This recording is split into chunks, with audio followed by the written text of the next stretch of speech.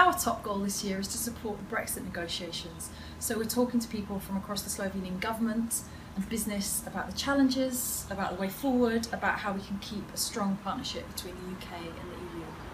And secondly, we continue to build our links with Slovenia on trade, on education and on defence and security. So for instance, we've got British universities coming out to visit soon, we've got British troops coming to train with Slovenes, and in October we're going to be running a big business conference alongside the Scotland-Slovenia football match.